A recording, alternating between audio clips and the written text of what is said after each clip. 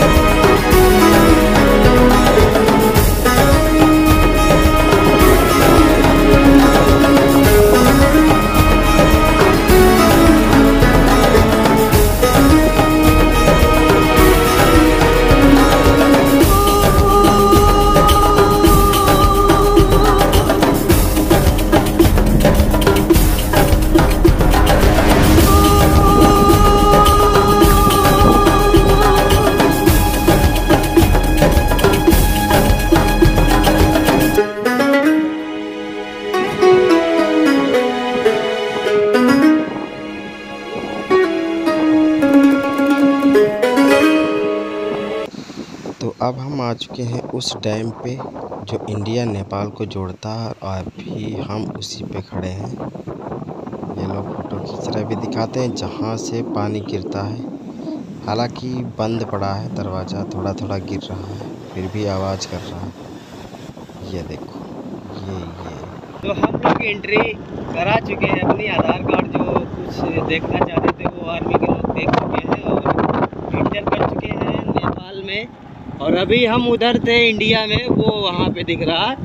और अब हम लोग इंटर हो चुके हैं नेपाल में भाई पड़ोसी मुल्क पड़ोसी मुल्क है नेपाल इंटर कर चुके हैं बन गई है नीचे से जाना नीचे से तो भाई पहले जब पहले बार उस अगले साल जब हम आए थे तब इतनी अच्छी रास्ता नहीं थी लेकिन अब जो है अच्छी रास्ता बन गई है। इधर आर्मी के सर लोग थे थे इंटरनेशनल बॉर्डर हो चुका है तो इसलिए यहाँ पे बहुत ज़्यादा अच्छा कुछ बन चुका है। पहाड़, ये वादियाँ, ये. तो दोस्तों, हम आ चुके हैं नेपाल, और जो सिद्ध बाबा नेपाल में मार्केट लगती वहाँ पे आ चुके हैं। और हमारे जो मित्रगण हैं, सब लोग साथ में हैं, पीछे देख सकते हैं। और पूरी मार्केट है कुछ इस तरह से नेपाल की। तो अभी हम चल रहे हैं मार्केट में आगे चल कर के और आगे ही थोड़ी दूरी पे पड़ता है मंदिर जो बाबा जी का। तो चलेंगे, आप सभी के दर्शन कराएँगे। और यहाँ पे बहुत सारी, देख सकते हैं शॉप हैं। साइड में इधर भी हैं, उधर भी हैं।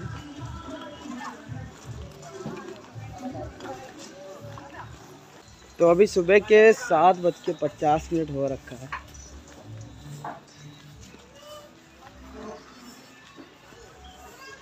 और हम लोग टनकपुर में रुके थे वहीं से आए हैं। और यहाँ की शॉपें जो हैं ओपन हो रही हैं धीरे धीरे क्योंकि सुबह का टाइम है। तो अब हम आ चुके हैं मंदिर के करीब में। और अभी सुबह का टाइम देखो सन्नाटा पूरा हो रखा है मार्केट में। दुकानदार भी कहीं चले गए हैं लगता है। दो दुकानदार दिखे हैं हमें ये बस। हाँ सही बिल्कुल राइट है ना? हाँ है क्या? इंडियन वाला इक्यावन वाला दे दो तो अभी प्रसाद हो चुका है। प्रसाद ले लिया गया है। प्रसाद में क्या क्या है प्रसाद में ले लो। ये दाने हैं। एक रुद्राक्ष है।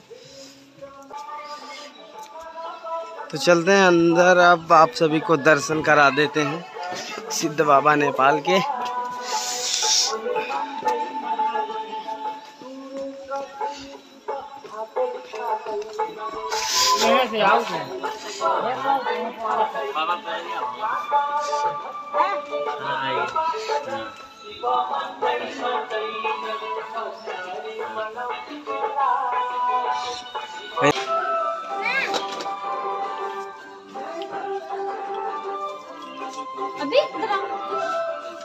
हमने दर्शन तो कर ही लिए, ये प्रसाद रहा हमारा और हमने चढ़ा दिया है। ये लोग अब चढ़ा रहे हैं। दर्शन कर रहे हैं। और यहाँ पे गार्डन भाई साहब ठीक ठाक बने हैं, अच्छी हरियाली है। और ये विष्णु मंदिर है भीम नगर पालिका हाँ।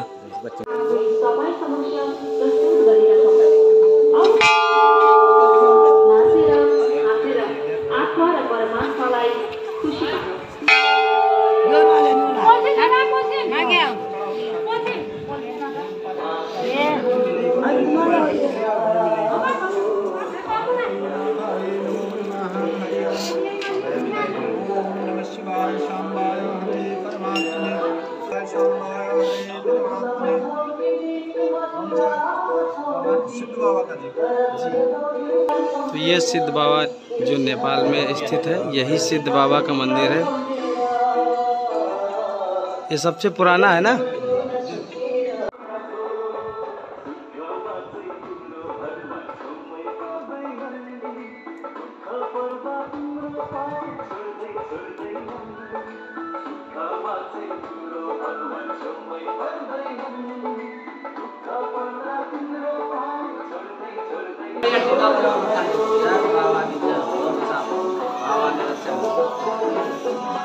अरे बाबा ने अच्छा कर यात्रा सफल हो मनोकामना पूरा हो जाए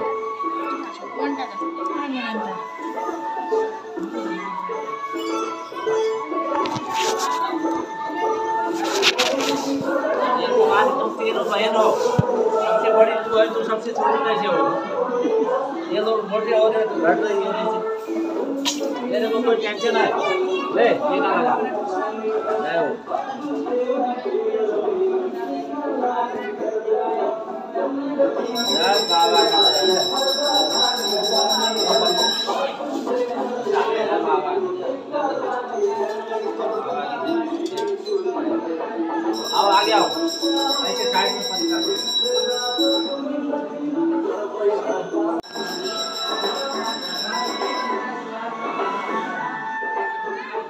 सबसे पुराना मंदिर कौन सा है बाबा यहाँ? सबसे पहले ये धनी था। यही था? हाँ और एक पीछे का पेड़ था पीपल का और दूसरे का अच्छा। ये धोनी है और पीपल का पेड़। क्या मान्यता है मंदिर की बताएँगे? ये पूर्णागिरी के बाद यहाँ आने से यात्रा पूरा होती है ये पुरानी मान्यता है। अच्छा अच्छा। तब यात्री पूर्णागिरी जाके यहाँ आने से यात्रा पूरा होता है यही बात। अच्छा। ये बाबा भोलेनाथ शंकर जी का अवतार है माता पार्वती का अवतार पूर्णागिरी है। अच्छा। माता का दर्शन करे तो पिता का भी करना अनिवार्य होता है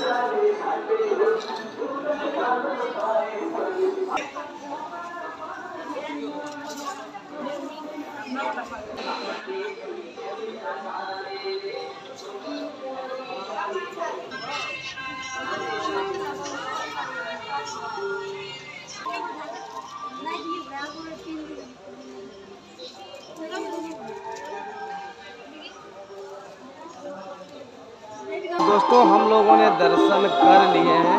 और अभी सुबह का टाइम था तो भीड़ भाड़ नहीं थी। तो अच्छी तरीके से दर्शन हो चुके हैं। काफ़ी सारे मंदिर हैं यहाँ पे। सारे मंदिरों में हमने दर्शन किए। मेन मंदिर देखो, कितना अच्छा बना है।